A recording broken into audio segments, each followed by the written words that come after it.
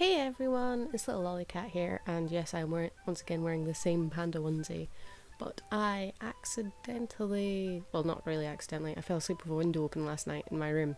So I literally woke up to zero degree temperatures in my room and like frozen juice, which was interesting because I always have like this bottle of juice I carry around with me all day. You just have water at night, have juice during the day. So it's usually made up for the morning, and it was starting to freeze.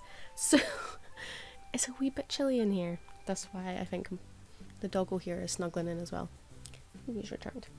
So I have more reviews to do because I made, along with a few of my friends, we made a massive ABDL factory order, including ones for me to get samples of things that I hadn't tried yet, or ones I had tried but I wanted to show for reviews and stuff like that, and just because I wanted to get hold of a couple of packs of Tykables before they were gone, in the style that they're in, because I prefer the old style to the way the new ones look. So apparently the new ones have better tabs though, which is good. But um, yeah, I thought I'd get a hold of a couple of packs, like I did before when they shut down, like you know, got bought over because they used to be snuggies. So expect a few videos because I have all these to review. And yes, they're super puffy. And you may see some that you um, recognise. So I have even included some medical ones, which is rare for me. So yes, it's a bit different. So the one I am going to review today is going to be out of this massive pile. It's going to be one that I've been told about quite a lot, and that is this one, which looks fairly plain. And it is a Confidry 24-7, and as you can see, they are mega, mega puffy. These are not an ABDL brand. These are a... what's the word? They're a medical brand.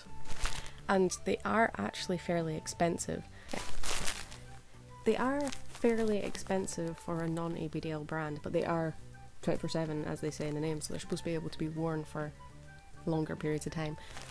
They are plastic and they're mildly loud but not the loudest. They are super puffy.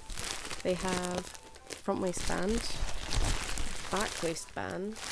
They have two tabs, which I will get to. I've used these. They're actually quite good. Um,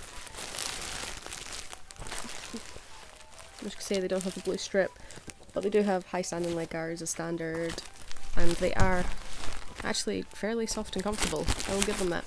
But I will say these are basically was it they were they're £32 for a pack of 16 not 16 18 from factory which means that they cost about just short of £2 a diaper which is pretty really expensive for a non-ABDL brand like really expensive.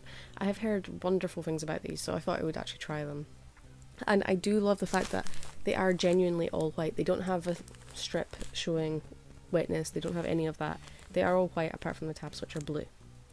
They are the two tri tabs I believe actually. And I never actually had to try the second tab on them when I tried them out. They just worked instantly. But I will say that it is important that they have these because as you can see they don't have a landing strip, but they do have this soft plastic backing, which is similar to crinkles. And the problem with that is that if you get it wrong when you land, you can't remove the tab. You have to break the tab off and use the other tab, because if you do, this plastic backing just tears open. And so there's a bit of issue with re alignment. They are these are mediums, but they are very very large made. Like heckin' big made. they the one downside of these I would say is usually if I go medical I usually go for ones that are a bit more subtle because medical are made to be subtle because obviously people don't want you to see them. But I wore these out to the deer centre which there's a chance that you might notice in a video I'm putting up. I don't know if I'm putting it up for this or not because I still need to put it all together. But I went to the deer centre in these and Dungarees, and I swear in half the pictures it looks like I have a very protruding tum and crotch, and I'm like, oh god, it was, it was more obvious than I realised, which is not so grand. But no one really minded, and I, or noticed at least, I think. They might have. They might have just thought I was a bit chunkier than usual. Either way. but I really, despite that, I would really, really recommend them. Like, I wore them for a full day and I think I used them about seven or eight times and I had absolutely no issues. Like, I took them off thinking I had thoroughly probably destroyed them and discovered that they probably could have held comfortably quite a bit more because they do disperse. And there were areas that were obviously a bit a little bit more swollen than others, but generally they held up really well. I would.